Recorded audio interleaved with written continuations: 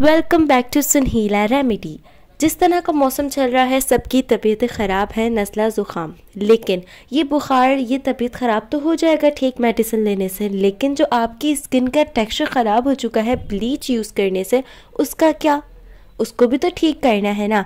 आपने अपनी स्किन को ख़राब कर दिया है बार बार ब्लीच करवा के पाँच सौ, दो सौ रुपये वाली ब्लीच से, जिससे आपकी स्किन सारी ख़राब होती चली जा रही है।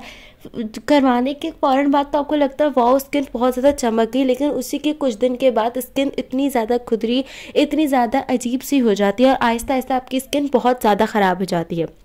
अब इसको ठीक कैसे करना है? इसको ठीक ऐसे करना है कि आप पहले तो ब्लीचिंग करना छोड़ दें। आप नाइन्टीज़ के ज़माने में नहीं रहते कि इसमें आप जिसमें आपके पास कोई इन्फॉर्मेशन नहीं है कि ब्लीच की वजह से आपकी स्किन ख़राब होती है। अब आपको पता है कि ब्लीच आपकी स्किन को ख़राब करता है। अब इससे छुटकारा कैसे पाना है? सबसे पहले तो आप ब्लीच छोड़ेंगे और आप यूज़ करेंगे home remedy homemade bleach use करेंगे।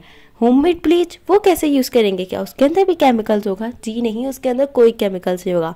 इसके लिए हमें सबसे पहले चाहिए समुद्री झाग। ये आपको पंसार की शॉप से मिल जाएगा। आपने वहाँ से समुद्री झाग थोड़ा सा ले लेना है। ठीक है, फिर आप उसे लेके घर आए। आपने उसको फिर कूटना है किसी चीज़ में और उसके बाद उसको अच्छी तरह ब्लेंडर में डाल के उसका पाउडर बना लें। पाउडर आपने लेना है वन टेबल स्पून अब जो समुद्री झाग है ये क्या करेगा? ये आपकी स्किन को ब्राइटन अप करने में बहुत ज़्यादा हेल्प करेगा। इसको चखने की गलती मत कीजिएगा। मेरी तरह मैंने इसको चखा इतना ज़्यादा नमकीन था ये। मतलब अजीब सा बहुत ही नमकीन टेस्ट था तो इसको मत चखेगा। ठीक है जी, आपने ले लिया वन टेबल स्पून इसका पाउडर और उसको आपने एक बॉल में डाल देना है। अब चाहिए दूसरा इंग्रेडिएंट जो कि है चावल का आटा। आपने बहुत सारी रेमिडीज़ देखी होंगी rice face mask rice water rice this rice that जी हाँ राइस जो है वो सच में बहुत ही कम माल का इंग्रेडिएंट है फ़ौरन इंस्टेंट रिज़ल्ट देने में हेल्प करता है। सिर्फ़ राइस का पाउडर ही इतना शानदार होता है, इसे पानी के साथ मिक्स करके अपने फेस पे लगा लें, आपका फेस चमक रहा होता है। आपने ये दो इंग्रेडिएंट मिक्स करेंगे, आपकी स्किन के ऊपर इतना ग्लो आएगा कि आप खुद भी वाओ क्या ग्लो आया। अब डालना है तीसरा इंग्रेडिएंट आपने इसके अंदर डालना है शहद। शहद जो है आपकी स्किन के बैरियर को ना अच्छा करने में हेल्प करता है, आपके स्किन के टेक्सचर को इम्प्रूव करने में हेल्प करता है। आपने डाला है हाफ़ टी स्पून शहद और चावल का आटा भी आपने वन टेबल स्पून डालना है।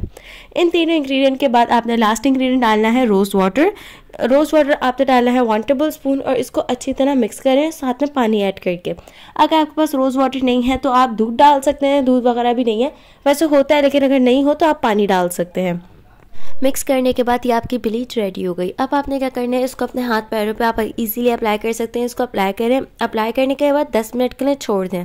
अच्छे सा कोट लगा के अप्लाई करें। उसके बाद जब 10 मिनट हो जाना है तब आप इसको मसाज करना है। 10 मिनट के लिए आप इसको बिल्कुल जेंटल हाथों से मसाज करें। जितने भी प्रेशर पॉइंट्स आपको पता है, वो आप दबाएँ। मसाज करने का इसको ठंडे ठंडे पानी से वॉश कर लें। ये देखें रिज़ल्ट मेरा हाथ कितना ज़्यादा ब्राइटन अप हो चुका है सिर्फ़ एक अटैम्प्ट से। So hope you like my video video को लाइक करें, चैनल को सब्सक्राइब